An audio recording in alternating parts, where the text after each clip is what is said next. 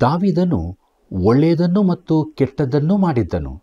ಆದರೆ ಎಲ್ಲದಕ್ಕಿಂತ ಹೆಚ್ಚಾಗಿ ದಾವಿದನಿಗೆ ದೇವರ ಮೇಲಿನ ನಂಬಿಕೆ ಎಂದಿಗೂ ಕಡಿಮೆಯಾಗಲಿಲ್ಲ.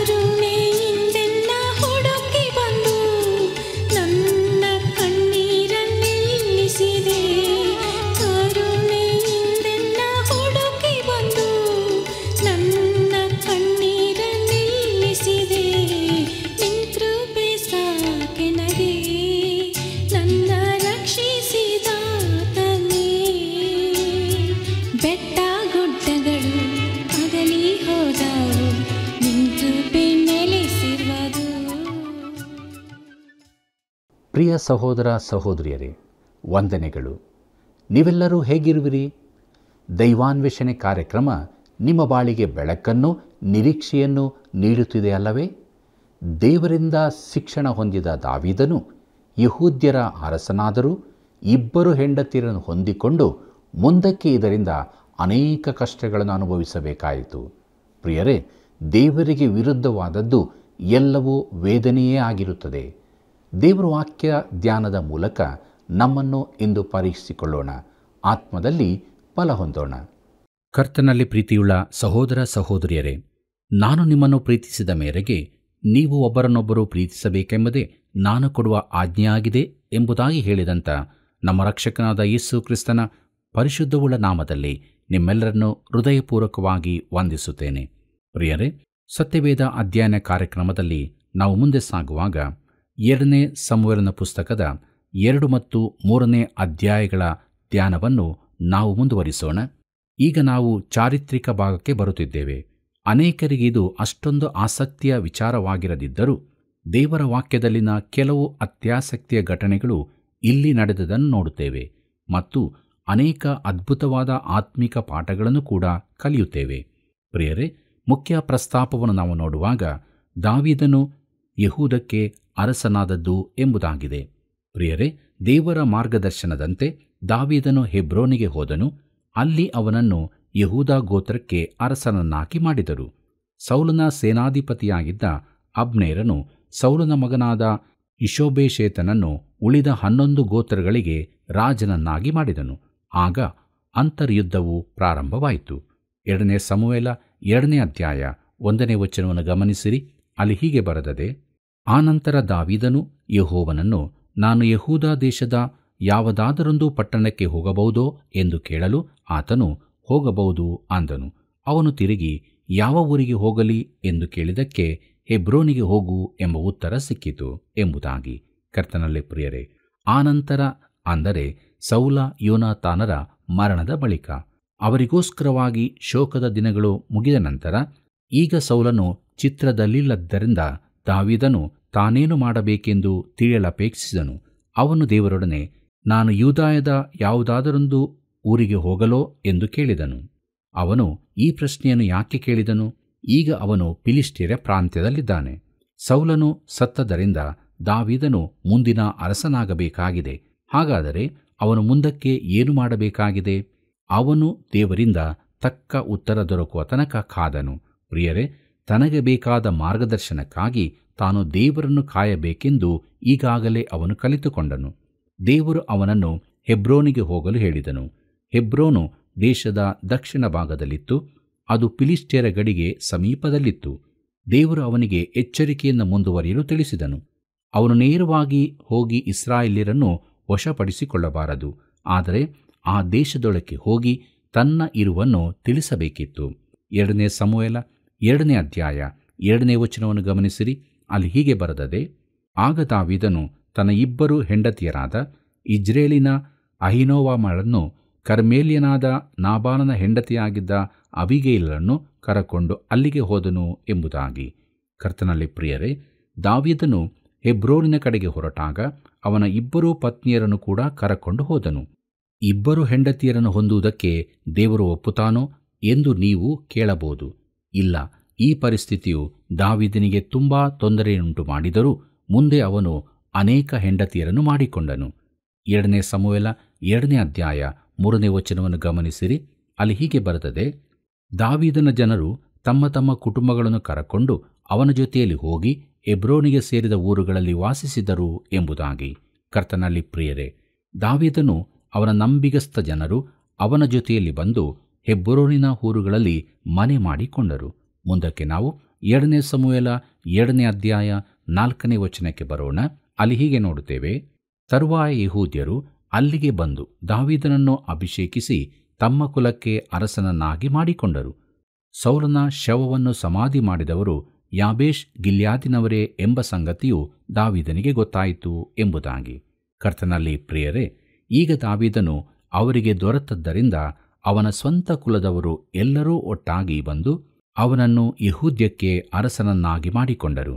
ಎರಡನೇ ಸಮೂಹಲ ಎರಡನೇ ಅಧ್ಯಾಯ ಐದನೇ ವಚನ ಹೀಗೆ ಹೇಳುತ್ತದೆ, ಆಗ ಅವನು ಅವರ ಬಳಿಗೆ ದೂತರನ್ನು ಕಳುಹಿಸಿ, ನೀವು ಕರುಣೆಯಿಂದ ನಿಮ್ಮ ಒಡೆಯನಾದ ಸೌಲನ ಶವವನ್ನು ಸಮಾಧಿ ಮಾಡಿದಕ್ಕಾಗಿ ನಿಮಗೆ ಯಹೋವನ ಆಶೀರ್ವಾದ ಉಂಟಾಗಲಿ ಎಂಬುದಾಗಿ. ಪ್ರೀತಿಯುಳ್ಳ ದೇವಜನರೇ ತಾವಿದನು ಒಂದು ಬುದ್ಧಿವಂತಿಕೆಯ ಕಾರ್ಯವನ್ನು ಇಲ್ಲಿ ಮಾಡಿದನು.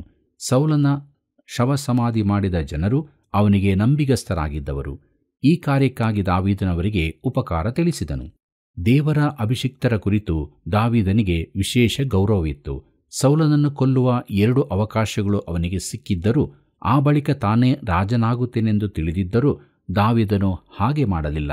ದಾವಿದನ ಪಾಪವು ನಮ್ಮೆದುರಿಗೆ ಬರುವುದರಿಂದ ಅವನಲ್ಲಿನ ಒಳ್ಳೆಯ ಗುಣಗಳು ನಮಗೆ ಕಾಣುವುದೇ ಇಲ್ಲ. ಅದು ಆಕಾಶವನ್ನು ಕವಿಯುವ ಮೋಡದಂತೆ ಅವನ ಜೀವಿತದ ಒಳ್ಳೆಯ ಅಂಶಗಳನ್ನು ಅಡಗಿಸುತ್ತದೆ. ಅನೇಕ ವಿಚಾರಗಳಲ್ಲಿ ದಾವಿದನು ಒಬ್ಬ ಅದ್ಭುತ ವ್ಯಕ್ತಿಯಾಗಿದ್ದನು. ಅವನು ಮಾಡಿದ ಪಾಪಕ್ಕಾಗಿ ಮುಂದಿನ ಜೀವಮಾನವಿಡೀ ಅವನು ಶಿಕ್ಷೆ ಅನುಭವಿಸಬೇಕಾಯಿತು. ಎರಡನೇ ಸಮೂಹಲ ಎರಡನೇ ಅಧ್ಯಾಯ ಆರು ಮತ್ತು ಏಳನೇ ವಚನಗಳನ್ನು ನೋಡಿರಿ. ಅಲ್ಲಿ ಹೀಗೆ ಬರೆದದೆ, ಆತನ ಕೃಪಾಸತ್ಯತೆಗಳು ನಿಮ್ಮೊಂದಿಗಿರಲಿ, ಈ ಕಾರ್ಯಕ್ಕಾಗಿ ನಾನು ನಿಮಗೆ ಉಪಕಾರ ಮಾಡುವೆನು. ಯಹೂದ್ಯರು ನನ್ನನ್ನು ಅಭಿಷೇಕಿಸಿ ತಮ್ಮ ಅರಸನನ್ನಾಗಿ ಮಾಡಿಕೊಂಡಿರುವುದರಿಂದ ಸೌಲನು ಸತ್ತು ಹೋದರೂ ಶೂರರಾಗಿರಿ. ನಿಮ್ಮ ಕೈಗಳು ಜೋಳು ಬೀಳದಿರಲಿ ಎಂದು ಹೇಳಿದನು ಎಂಬುದಾಗಿ. ಪ್ರೀತಿಯುಳ್ಳ ದೇವಜನರೇ, ತಾನು ಅರಸನಾಗುವುದಕ್ಕೆ ಅವರ ಬೆಂಬಲವನ್ನು ಭಕ್ತಿಯನ್ನು ಸೌಲನಿಗೆ ಕೊಟ್ಟಿದ್ದಂತೆ ತನಗೂ ಕೊಡಬೇಕೆಂದು ದಾವೀದನು ಅವರನ್ನು ಕೇಳಿಕೊಂಡನು. ಈ ಸಂದರ್ಭದಲ್ಲಿ ಅವನು ಬಹು ನಾಜೂಕಾಗಿ ನಿಧಾನವಾಗಿ ಮುಂದುವರಿಯುತ್ತಿದ್ದಾನೆಂಬುದನ್ನು ಗಮನಿಸಿರಿ. ಸೌಲನಿಗೂ ಯೋನಾಥಾನನಿಗೂ ಗಂಡು ಮಕ್ಕಳಿದ್ದರು. ಅವರ ಜೀವಂತವಿದ್ದ ಮಕ್ಕಳಲ್ಲಿ ಯಾರಾದರೊಬ್ಬರು ಸಿಂಹಾಸನಕ್ಕೆ ವಾರಸೂದಾರನಾಗಬಹುದಿತ್ತು. ಸೌಲನ ಸೇನಾಧಿಪತಿಯಾಗಿದ್ದ ಅಬ್ಮೇರನು ಅವರಲ್ಲೊಬ್ಬನನ್ನು ಅರಸನನ್ನಾಗಿ ಮಾಡಲು ಕೂಡಲೇ ಕಾರ್ಯ ಕೈಗೊಂಡನು. ಅವನು ಏನು ಮಾಡಿದನೆಂದು ಗಮನಿಸಿರಿ. ಮುಂದಿನ ವಚನ ಅದನ್ನೇ ಹೇಳುತ್ತದೆ. ಎರಡನೇ ಸಮೂಹಲ ಎರಡನೇ ಅಧ್ಯಾಯ ಎಂಟನೇ ವಚನ ಒಂಬತ್ತನೇ ವಚನ. ಸೌಲನ ಸೇನಾಧಿಪತಿಯು ನೇರನ ಮಗನೂ ಆದ ಅಬ್ನೇರನು ಸೌಲನ ಮಗನಾದ ಇಶೋಭಾಷೇತನನ್ನು ಹೊಳೆಯ ಆಚೆಯಲ್ಲಿರುವ ಮಹಾನಯಮಿಗೆ ಒಯ್ದು ಅವನನ್ನು Gilead, Asher, Israel Ephraim Benjamin ಇವುಗಳ ಜನರ ಮೇಲೆಯೂ ಬೇರೆ ಎಲ್ಲ ಇಸ್ರಾಯೇಲ್ಯರ ಮೇಲೆಯೂ ಅರಸನನ್ನಾಗಿ ಮಾಡಿದನು ಎಂಬುದಾಗಿ. ಪ್ರೀತಿಯುಳ್ಳ ದೇವಜನರೇ, ಇಲ್ಲಿಂದ ರಾಜ್ಯವು ಇಬ್ಬಾಗವಾಗುವ ಲಕ್ಷಣಗಳು ಕಂಡುಬಂದವು. ಮುಂದೆ ಸೊಲೋಮೋನನ ನಂತರ ಯಾರೊಬ್ಬಾಮನು ದಂಗೆ ಎದ್ದದರಿಂದ ರಾಜ್ಯವು ಇಬ್ಬಾಗವಾಯಿತು ಆದರೆ ಈ ಭಾಗದಲ್ಲಿ ಅದರ ಮೂಲವಿತ್ತು. ಮೊದಲಿಗೆ ದಾವೀದನು ಯಹೂದದ ದಕ್ಷಿಣ ಅರಸನಾದನು, ಉತ್ತರ ಭಾಗದ ಕುಲಗಳವರು ಇಶೋಬಾಶೇತನನ್ನು ಅರಸನನ್ನಾಗಿ ಮಾಡಿಕೊಂಡರು.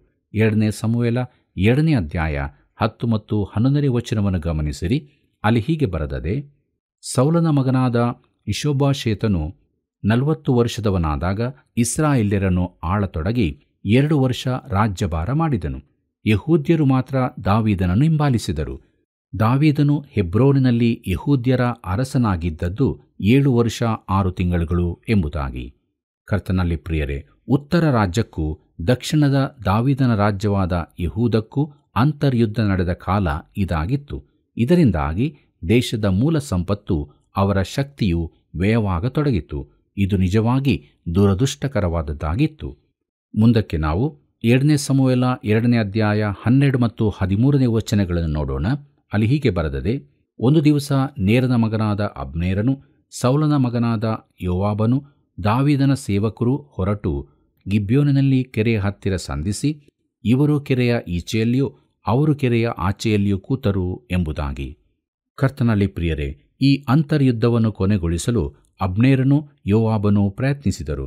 ಆದರೆ ಈ ದಿನಗಳಲ್ಲಿ ನಾವು ನಮ್ಮ ದೇಶದ ಪರಿಸ್ಥಿತಿಗಳನ್ನು ನೋಡುವಂತೆ ಒಂದು ಬದಿಯ ಜನರು ಒಂದು ರೀತಿಯ ಪರಿಹಾರಕ್ಕಾಗಿ ಪ್ರಯತ್ನಿಸುತ್ತಿರುವಾಗ ಇನ್ನೊಂದು ಪಕ್ಷದವರು ತಮ್ಮದೇ ರೀತಿಯ ಪರಿಹಾರಕ್ಕೆ ಹಠ ಹಿಡಿಯುತ್ತಾರೆ. ಆಗ ಸಂಧಾನವು ವಿಫಲವಾಗುತ್ತದೆ. ಅದು ವ್ಯರ್ಥ ಪ್ರಯಾಸವಾಗಿರುತ್ತದೆ. ಇಲ್ಲಿಯೂ ಅದೇ ನಡೆಯುತ್ತದೆ. ಎರಡನೇ ಸಮೂಹಲ ಎರಡನೇ ಅಧ್ಯಾಯ ಹದಿನಾಲ್ಕರಿಂದ ಹದಿನಾರನೇ ವಚನದವರೆಗೆ ಗಮನಿಸಿರಿ. ಅಲ್ಲಿ ನಾವು ಹೀಗೆ ನೋಡುತ್ತೇವೆ.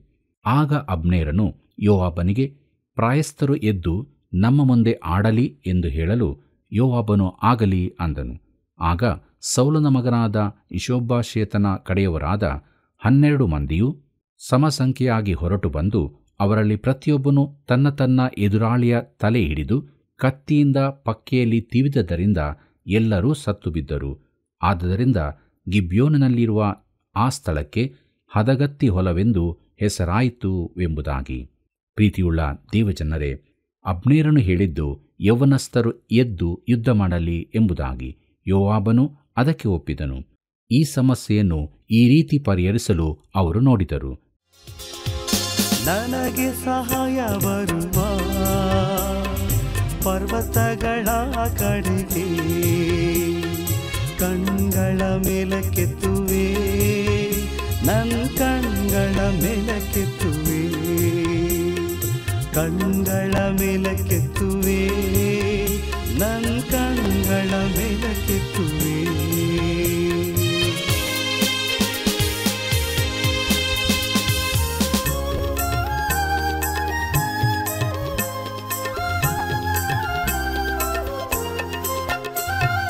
ಕಾಲು ಚಾರದಂತೆ ನಡೆಸುವ ನಿನ್ನ ಕಾಯುವವನು ತೂಕಡಿಸುವುದಿಲ್ಲ.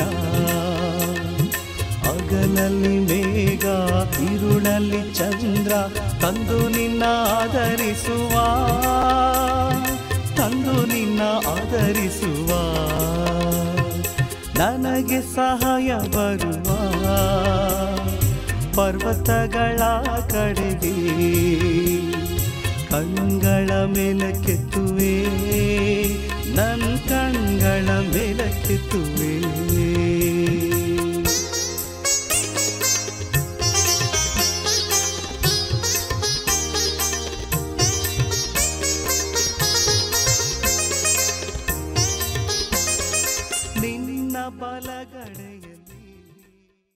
ಮುಂದಕ್ಕೆ ನಾವು ಎರಡನೇ ಸಮೂಹಲ ಎರಡನೇ ಅಧ್ಯಾಯ, ಹದಿನೇಳನೇ ವಚನಕ್ಕೆ ಬರೋಣ.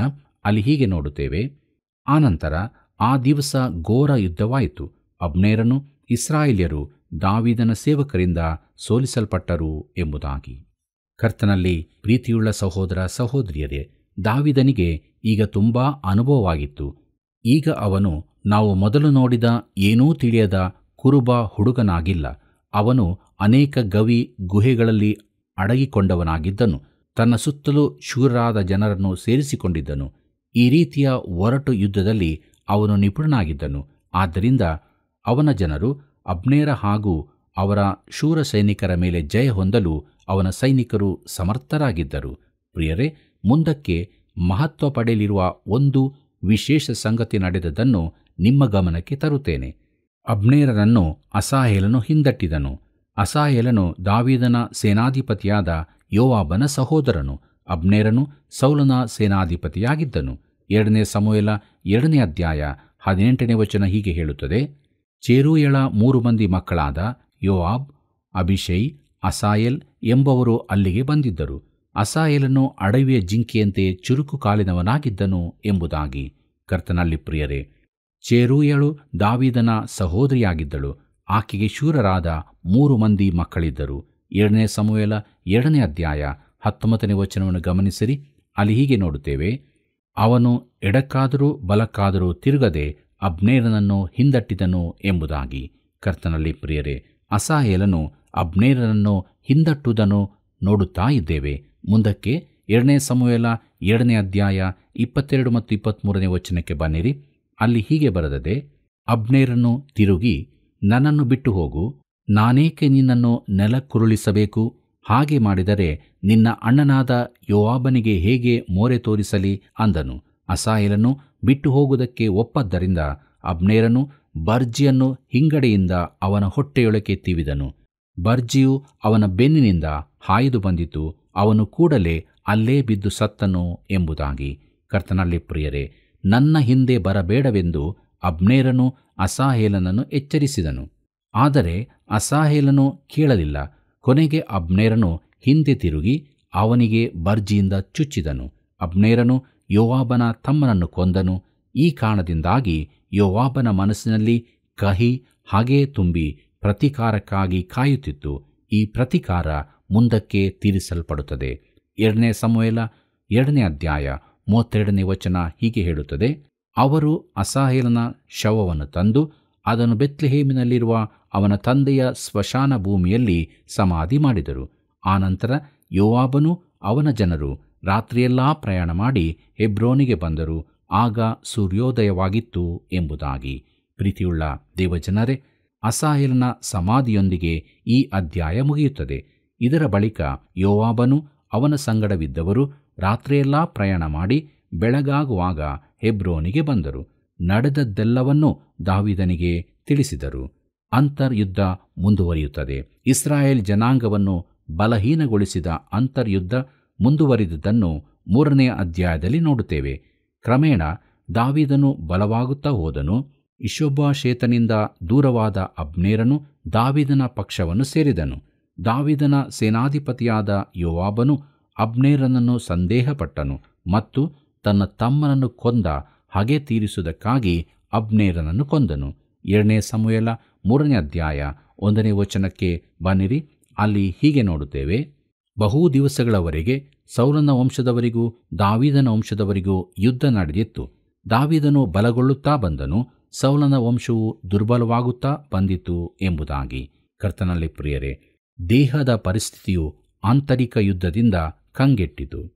ಅಂತರ್ಯುದ್ಧ ನಡೆಯುತ್ತಲೇ ಇತ್ತು. ಅವರ ಮೂಲ ಸಂಪತ್ತು ಕೂಡ ಕಡಿಮೆಯಾಗುತ್ತಿತ್ತು. ದಾವೀದನು ಎಬ್ರೋನಿನಲ್ಲಿ ಏಳುವರೆ ವರ್ಷ ಆಳಿದನು. ಕರ್ತನಲ್ಲಿ ಪ್ರಿಯರೇ, ಎರಡನೇ ಸಮಯಲ ಮೂರನೇ ಅಧ್ಯಾಯ ಎರಡನೇ ವಚನದಿಂದ ಐದನೇ ವಚನದವರೆಗೆ ಗಮನಿಸಿರಿ. ಅಲ್ಲಿ ನಾವು ಹೀಗೆ ನೋಡುತ್ತೇವೆ. ಎಬ್ರೋನಿನಲ್ಲಿರುವಾಗ ದಾವಿದನಿಗೆ ಹುಟ್ಟಿದ ಮಕ್ಕಳು ಚೊಚ್ಚಲ ಮಗನು ಅಮ್ಮೋನನು. ಇವನು ಇಜ್ರೇಲಿನವಳಾದ ಅಹಿನೋವಾ ಮಳಲಿ ಹುಟ್ಟಿದವನು. ಎರಡನೆಯವನು ಕೀಲಾಬನು. ಇವನು ನಾಬಾಲನ ಹೆಂಡತಿಯಾಗಿದ್ದ ಅಬಿಗೇಲಲ್ಲಿ ಹುಟ್ಟಿದವನು. ಮೂರನೆಯವನು ಅಬ್ಷಾಲೋಮನು. ಇವನು ಗೇಶೂರಿನ ಅರಸನಾದ ತಲ್ಲೈ ಎಂಬವನ ಮಗನಾದ ಮಾಕಳ ಪುತ್ರನು. ನಾಲ್ಕನೆಯವನು ಅದೋನಿಯನು. ಇವನು ಹಗ್ಗೀತಳ ಮಗನು. ಐದನೆಯವನು ಶೆಫಾಟ್ಯನು. ಇವನು ಅಬೀಟಳ ಮಗನು. ಆರನೆಯವನು ಇತ್ರಾಮನು. ಇವನು ದಾವಿದನಿಗೆ ಅವನ ಹೆಂಡತಿಯಾದ ಎಗ್ಲಾಲಲ್ಲಿ ಹುಟ್ಟಿದವನು. ಹೆಬ್ರೋನಿನಲ್ಲಿರುವಾಗ ದಾವಿದನಿಗೆ ಹುಟ್ಟಿದ ಮಕ್ಕಳು ಇವರೇ ಎಂಬುದಾಗಿ. ಪ್ರೀತಿಯುಳ್ಳ ದೇವಜನರೇ, ದಾವಿದನಿಗೆ ಇಬ್ಬರಿಗಿಂತ ಹೆಚ್ಚು ಪತ್ನಿಯರಿದ್ದರೆಂದು ತಿಳಿದುಬರುತ್ತದೆ. ಇತರ ಪತ್ನಿಯರೂ ಇದ್ದರು. ಇದರಿಂದಾಗಿ ದಾವಿದನು ಮುಂದೆ ತೊಂದರೆಗಳನ್ನು ಅನುಭವಿಸಬೇಕಾಯಿತು. ದೇವರು ಇದನ್ನು ಒಪ್ಪಲಿಲ್ಲ ಮತ್ತು ದಾವಿದನು ಇದರಿಂದ ತಪ್ಪಿಸಿಕೊಳ್ಳಲೂ ಆಗಲಿಲ್ಲ. ದಾವಿದನ ಮಕ್ಕಳ ಪಟ್ಟಿಯಲ್ಲಿ ಒಬ್ಬನು ಅಪ್ಶಾಲೋಮನಾಗಿದ್ದನು ಅವನ ಕತೆ ನಿಮಗೆ ಚೆನ್ನಾಗಿ ಗೊತ್ತಿದೆ ಎಂದು ನಾನು ನೆನೆಸುತ್ತೇನೆ. ಮುಂದಕ್ಕೆ ಇವನು ದಾವೀದನಿಗೆ ವಿರೋಧವಾಗಿ ದಂಗೆ ಎದ್ದದನ್ನು ನೋಡುತ್ತೇವೆ. ದಾವಿದನು ಇವನನ್ನು ಮುಂದಕ್ಕೆ ಅರಸನನ್ನಾಗಿ ಮಾಡಬೇಕೆಂದಿದ್ದನು. ಆದರೆ ಅವನು ಯುದ್ಧದಲ್ಲಿ ಯೋವಾಬನಿಂದ ಕ್ರೂರವಾಗಿ ಕೊಲ್ಲಲ್ಪಟ್ಟನು. ಅವನು ಕೊಲೆಯಾದಾಗ ದಾವಿದನು ಹೃದಯ ಒಡೆದವನಾದನು. ಅಬ್ಷಾಲೋಮನ ತಾಯಿಯಾರು ಗೇಶೂರಿಗೆ ಅರಸನಾದ ತಲ್ಲೈ ಎಂಬವನ ಮಗಳಾದ ಮಾಕಳಾಗಿದ್ದಳು. ಗೇಶೂರಿನ ಅರಸನು ಯಾರು? ನೀವು ಒಂದನೇ ಸಮೂಹಲ ಇಪ್ಪತ್ತೇಳನೇ ಅಧ್ಯಾಯ ಎಂಟನೇ ವಚನವನ್ನು ನೋಡುವುದಾದರೆ, ದಾವೀದನು ಅವನ ಜನರು ಗೆಶೂರ್ಯರನ್ನು ಸುಳುಕೊಳ್ಳುತ್ತಿದ್ದರೆಂದು ಬರೆದದೆ, ಇದು ದಾವೀದನು ಮಾಡಿದ ತಪ್ಪು ಕಾರ್ಯವಾಗಿದೆ. ಅವನು ಗೆಶೂರ್ಯರ ಸಹಿತ ಎಲ್ಲರನ್ನೂ ಕೊಂದನು, ಆದರೆ ಅರಸನ ಮಗಳನ್ನು ಸರಿಯಾಗಿ ತಂದಿದ್ದಿರಬಹುದು. ಆಕೆ ಮುಂದೆ ಅವನ ಪತ್ನಿಯಾದಳು. ಅವರಿಗೆ ಒಬ್ಬ ಮಗನು ಹುಟ್ಟಿದನು. ಇವನೇ ಮುಂದೆ ದಾವಿದನಿಗೆ ವಿರೋಧವಾಗಿ ದಂಗೆ ಎದ್ದವನು. ಪ್ರಿಯರೇ, ದಾವಿದನು ತನ್ನ ಪಾಪದ ಫಲದಿಂದ ತಪ್ಪಿಸಿಕೊಳ್ಳಲಾಗಲಿಲ್ಲ. ನಾವು ಇದನ್ನು ಗಮನಿಸಿಕೊಳ್ಳುವುದು ಅತಿ ಅವಶ್ಯವಾಗಿದೆ. ಮುಂದಕ್ಕೆ ನಾವು ಅಬ್ನೇರನು ದಾವಿದನೊಂದಿಗೆ ಸೇರಿಕೊಂಡದ್ದು ಎಂಬುದನ್ನು ನೋಡೋಣ. ಕರ್ತನಲ್ಲಿ ಪ್ರಿಯರೇ, ಈ ಅಧ್ಯಾಯದಲ್ಲಿ ಅಂತರ್ಯುದ್ಧವು ತುಂಬಾ ಸಮಯ ನಡೆದದ್ದನ್ನು ನೋಡುತ್ತೇವೆ ಮತ್ತು ಅನೇಕ ರೀತಿಯಲ್ಲಿ ಇದು ನಮಗೆ ನಿರಾಸಕ್ತಿಯ ವಿಚಾರವಾಗಿದೆ. ಸೌಲನ ಸೇನಾಧಿಪತಿಯಾಗಿದ್ದ ಅಬ್ನೇರನು ಸೌಲನ ಮಗನಾದ ಇಶೋಬಾಶೇತನನ್ನು ಅರಸನನ್ನಾಗಿ ಮಾಡಿದವನು. ಉನ್ನತ ಸ್ಥಾನದಲ್ಲಿಲ್ಲದ ಹಿರಿಯ ವ್ಯಕ್ತಿಯಾದ ಅವನು ಅರಸನ ಮಾತುಗಳಿಗೆ ಎಲ್ಲದಕ್ಕೂ ಒಪ್ಪಿಕೊಳ್ಳಲಿಲ್ಲ. ಮಾಡಬಾರದ ಒಂದು ಸಂಗತಿಯನ್ನು ಅವನು ಮಾಡಿದನು. ಎರಡನೇ ಸಮೂಹಲ ಮೂರನೇ ಅಧ್ಯಾಯ ಏಳು ಮತ್ತು ಎಂಟನೇ ವಚನವನ್ನು ಗಮನಿಸಿರಿ, ಅಲ್ಲಿ ಹೀಗೆ ಬರದದೆ, ಆಯಾಹನ ಮಗಳಾದ ರಿಚ್ಪಳು ಸೌಲನ ಉಪಪತ್ನಿಯಾಗಿದ್ದಳು. ಒಂದು ದಿವಸ ಇಶೋಬಾಶೇತನು ಅಬ್ನೇರನನ್ನು ನೀನು ನನ್ನ ತಂದೆಯ ಉಪಪತ್ನಿಯನ್ನು ಕೂಡಿದೇಕೆ ಎಂದು ಕೇಳಿದನು. ಅಬ್ನೇರನು ಈ ಮಾತನ್ನು ಕೇಳಿ ಉರಿಗೊಂಡು ಇಶೋಬಾಶೇತನಿಗೆ ಈವರೆಗೆ ನಾನು ನಿನ್ನ ತಂದೆಯಾದ ಸೌಲನ ಕುಟುಂಬಕ್ಕೂ ಅವನ ಬಂಧು ಮಿತ್ರರಿಗೂ ದಯೆ ತೋರಿಸುತ್ತಿದ್ದೇನಲ್ಲ? ನಿನ್ನನ್ನು ದಾವಿದನ ಕೈಗೆ ಒಪ್ಪಿಸಿಕೊಡಲಿಲ್ಲವಷ್ಟೇ?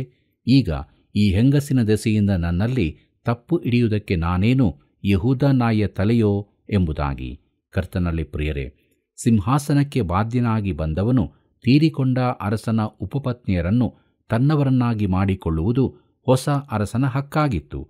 ಅಬ್ನೇರನು ಇಶೋಭಾಶೇತನ ಹಕ್ಕನ್ನು ಕಸಿದುಕೊಂಡದನ್ನು ಯುವಕ ರಾಜನು ಪ್ರಶ್ನಿಸಿದ್ದು ನ್ಯಾಯವಾಗಿಯೇ ಇತ್ತು. ಆದರೆ ಇದರಿಂದ ಸಿಟ್ಟುಗೊಂಡ ಅಬ್ನೇರನು ದಾವಿದನನ್ನು ಸೇರಿಕೊಳ್ಳುವ ಪ್ರಯತ್ನ ಮಾಡತೊಡಗಿದನು. ಮುಂದಕ್ಕೆ ನಾವು ಎರಡನೇ ಸಮುವೇಲ ಮೂರನೇ ಅಧ್ಯಾಯ ಒಂಬತ್ತನೇ ವಚನದಿಂದ ಹನ್ನೊಂದನೇ ವಚನದವರೆಗೆ ನೋಡೋಣ. ಅಲ್ಲಿ ಹೀಗೆ ಬರೆದದೆ ನಾನು ಅರಸುತನವನ್ನು ಸೌಲನ ಕುಟುಂಬದಿಂದ ತೆಗೆದು ದಾನಿನಿಂದ ಬೆರ್ಷೆಬೆದವರೆಗಿರುವ ಎಲ್ಲ ಇಸ್ರಾಯೇಲರಲ್ಲಿಯೂ ಯಹೂದ್ಯರಲ್ಲಿಯೂ ದಾವಿದನ ಸಿಂಹಾಸನವನ್ನು ಸ್ಥಿರಪಡಿಸಿ ಯಹೋವನಾಥ ದೇವರು ದಾವಿದನಿಗೆ ಮಾಡಿದ ವಾಗ್ದಾನವನ್ನು ನೆರವೇರಿಸದೆ ಹೋದರೆ ಆತನು ನನಗೆ ಬೇಕಾದದನ್ನು ಮಾಡಲಿ ಅಂದನು ಎಂಬುದಾಗಿ.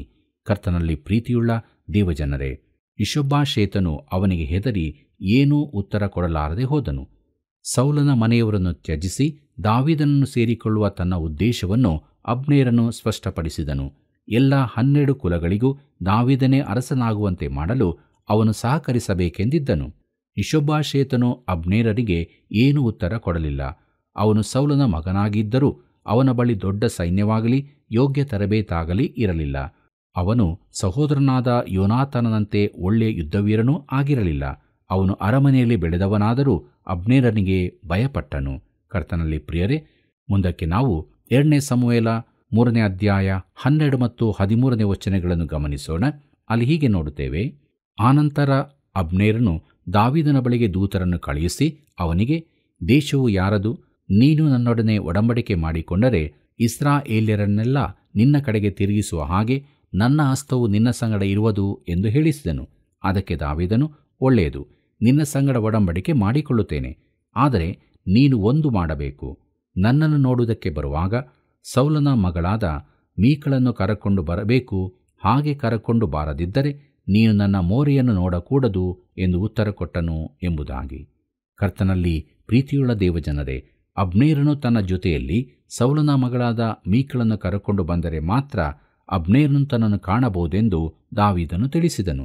ಮೀಕಳಲ್ಲೂ ದಾವಿದನ ಮೊದಲ ಹೆಂಡತಿಯಾಗಿದ್ದವಳೆಂಬುದನ್ನು ನೆನಪಿಗೆ ತಂದುಕೊಳ್ಳಿರಿ. ಸೌಲನು ಅವಳನ್ನು ದಾವಿದನಿಂದ ಅಗಲಿಸಿದ್ದನು.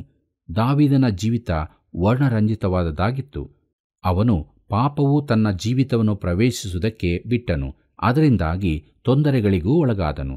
ಆದರೆ ಇದೆಲ್ಲದರ ಮೇಲೂ ಅವನಲ್ಲಿ ದೇವರ ಮೇಲಿನ ಅಚಲವಾದ ನಂಬಿಕೆಯಿತ್ತು. ಎಲ್ಲದಕ್ಕಿಂತ ಹೆಚ್ಚಾಗಿ ಅವನು ದೇವರೊಂದಿಗೆ ಉತ್ತಮ ಸಂಬಂಧ ಹೊಂದಿರಬೇಕೆಂದು ಆಶೆಪಟ್ಟನು. ಪ್ರೀತಿಯುಳ್ಳ ದೇವಜನರೇ, ಕೊನೆಯದಾಗಿ ನಾವು ಎರಡನೇ ಸಮುವೇಲ ಮೂರನೇ ಅಧ್ಯಾಯ ಹದಿನೈದು ಮತ್ತು ಹದಿನಾರನೇ ವಚನಗಳನ್ನು ಗಮನಿಸೋಣ. ಅಲ್ಲಿ ಹೀಗೆ ಬರೆದದೆ ಇಶುಭಾಶೇತನು ಲಾಯಿಷನ ಮಗನೂ ಆಕೆಯ ಗಂಡನೂ ಆದ ಪಲ್ಟಿಯೇಲನ ಬಳಿಗೆ ಆಳುಗಳನ್ನು ಕಳಿಸಿ ಆಕೆಯನ್ನು ತರಿಸಿದನು. ಆಗ ಪಲ್ಟಿಯೇಲನು ಬಹುರೀಮಿನವರೆಗೆ ಅಳುತ್ತಾ ಆಕೆಯ ಹಿಂದೆ ಬಂದನು. ಆನಂತರ ಅಬ್ನೇರನವನಿಗೆ, ಹಿಂದಿರುಗು, ನಡೆ ಎಂದು ಹೇಳಲು ಅವನು ಹಿಂದಿರುಗಿ ಹೋದನು ಎಂಬುದಾಗಿ. ಕರ್ತನಲ್ಲಿ ಪ್ರಿಯರೇ ಅಬ್ನೇರನ ಸಲಹೆಯನ್ನು ದಾವಿದನು ಒಪ್ಪಿಕೊಂಡನು. ಮುಂದಕ್ಕೆ ಅಬ್ನೇರ್ನ ಕುತಂತ್ರದಿಂದಾಗಿ ದಾವಿದನು ಇಸ್ರಾಯೇಲ್ಯರ ಎಲ್ಲ ಹನ್ನೆರಡು ಕುಲಗಳವರಿಗೂ ಅರಸನಾದದೆಂಬುದನ್ನು ನೋಡುತ್ತೇವೆ. ಪ್ರೀತಿಯುಳ್ಳ ದೇವಜನರೇ, ದೇವರ ವಾಕ್ಯವನ್ನು ನಾವು ಅಧ್ಯಯನ ಮಾಡಿದ್ದೇವೆ. ಅಂತರ್ಯುದ್ಧವು ಆಂತರಿಕವಾಗಿ ಬಲಹೀನರನ್ನಾಗಿ ಮಾಡುತ್ತದೆ ಮತ್ತು ನಾಶನಕ್ಕೆ ನಡೆಸುತ್ತದೆ ಎಂಬುದಾಗಿ ತಿಳಿದುಕೊಂಡೆವು. ನಮ್ಮ ಜೀವಿತವನ್ನು, ನಮ್ಮ ಕುಟುಂಬಗಳನ್ನು, ನಮ್ಮ ಸಭೆಗಳನ್ನು ನಾವು ಪರೀಕ್ಷೆ ಮಾಡಿಕೊಳ್ಳೋಣ. ನಮ್ಮಲ್ಲಿ ಅಂತರ್ಯುದ್ಧವು ಇರುವುದಾದರೆ ನಾವು ಸೋತು ಹೋದವರೇ ಆಗಿದ್ದೇವೆ. ಹಾಗಾಗದಂತೆ ಅನುದಿನವೂ ದೇವರ ಅನ್ಯೋನ್ಯತೆಯಲ್ಲಿ ನಮ್ಮನ್ನು ಬಲಪಡಿಸಿಕೊಂಡು ದೇವರ ವಾಕ್ಯದಿಂದ ತುಂಬಿಸಲ್ಪಟ್ಟವರಾಗಿ ಜಯದ ಜೀವಿತವನ್ನು ನಾವು ಜೀವಿಸೋಣ. ಹೀಗಾಗುವಂತೆ ದೇವರು ತಾನು ನಮಗೆ ಸಹಾಯ ಮಾಡಿ ನಡೆಸಲಿ. ಕರ್ತನ ಕೃಪೆಯು ಸದಾ ನಿಮ್ಮ ಸಂಗಡ ಇರಲಿ. ಪ್ರಿಯರೇ, ಅಂತರ್ಯುದ್ಧವು ಮೂಲ ಸಂಪತ್ತನ್ನು ಕಡಿಮೆ ಮಾಡುತ್ತದೆ. ಸೌಲದ ವಂಶದಲ್ಲಿ ಹೀಗೆ ನಡೆಯುತ್ತಾ ಬಂದು ಆ ವಂಶವು ಕೊನೆಗೆ ದುರ್ಬಲವಾಯಿತು. ನಮ್ಮ ಕುಟುಂಬ ಸಭೆಗಳಲ್ಲಿ ಅಂತರ್ಯುದ್ಧ ಇದೆಯೋ? ಇಂದು ನಾವು ತಿಳಿದ ಸತ್ಯಕ್ಕೆ ವಿಧೇಯರಾಗೋಣ, ದೇವರ ಕೃಪಾ ಹಸ್ತಕ್ಕೆ ಒಪ್ಪಿಸಿಕೊಟ್ಟವರಾಗಿ ಸಾಕ್ಷ್ಯ ಜೀವಿತದಲ್ಲಿ ದೇವರನ್ನು ಮಹಿಮೆಪಡಿಸೋಣ. ಬನ್ನಿರಿ, ಪ್ರಾರ್ಥನೆ ಮಾಡೋಣ. ಪ್ರೀತಿಯುಳ್ಳ ನಮ್ಮ ರಕ್ಷಕನಾದ ಯೇಸು ಸ್ವಾಮಿಯಲ್ಲಿ ತಂದೆಯಾದ ದೇವರೇ, ನಿನ್ನ ಪಾದ ಬಳಿಗೆ ನಾವು ಬಂದಿದ್ದೇವೆ. ನಮ್ಮ ಜೀವಿತ ನಿನ್ನ ಎದುರಿನಲ್ಲಿ ಬಟ್ಟ ಬಯಲಾಗಿದೆ. ನಮ್ಮ ಒಳಗೆ ಅಂತರ್ ಯುದ್ಧ ಇದೆಯೋ? ನೀನು ಬಲ್ಲಾತನಾಗಿದ್ದಿ. ಒಂದು ವೇಳೆ ಈ ಸುಳಿವಿನಲ್ಲಿ ನಾವು ಸಿಕ್ಕಿಕೊಂಡಿರುವುದಾದರೆ ನಮಗೆ ಬಿಡುಗಡೆಯನ್ನು ಕೊಡು. ನೀಟಾದ ಮಾರ್ಗದಲ್ಲಿ ನಿನ್ನ ಚಿತ್ತಕ್ಕೆ ವಿಧೇಯರಾಗಿ ಜೀವಿಸುವುದಕ್ಕೆ ಸಹಾಯ ಮಾಡು. ದೇವರೇ, ಕಾರ್ಯಕ್ರಮ ವೀಕ್ಷಿಸಿ, ನಿನ್ನ ಬಳಿ ಬಂದು ಬೇಡುತ್ತಿರುವಂಥ ಒಬ್ಬೊಬ್ಬ ವೀಕ್ಷಕರನ್ನು ಕರುಣ ಮಾಡು. ಅವರಲ್ಲಿರುವಂಥ ಕಷ್ಟ, ಸಮಸ್ಯೆ, ಬಂಧನಗಳಿಂದ ಪರಿಪೂರ್ಣವಾದ ಬಿಡುಗಡೆಯನ್ನು ಅನುಗ್ರಹಿಸಿಕೊಟ್ಟು ಸಮಾಧಾನ, ಸಂತೋಷ, ಆರೋಗ್ಯದಲ್ಲಿ ನಡೆಸಿ ನೀನು ಮಾತ್ರ ಮಹಿಮೆ ಹೊಂದು ಯೇಸುವಿನ ನಾಮದಲ್ಲಿ ಬೇಡಿದ್ದೇವೆ ತಂದೆಯೇ ಆಮೇನ್. ಪ್ರಿಯರೇ, ನಿಮ್ಮ ಪ್ರೀತಿಯ ಕರೆಗಳಿಗಾಗಿ ಹೃದಯಪೂರ್ವಕವಾದ ವಂದನೆಗಳು. ಸೇವೆಗಾಗಿ ಪ್ರಾರ್ಥಿಸಿರಿ, ಇತರರಿಗೆ ತಿಳಿಯಪಡಿಸಿರಿ. ದೇವರ ಕೃಪೆ ಸದಾ ನಿಮ್ಮೊಂದಿಗಿರಲಿ.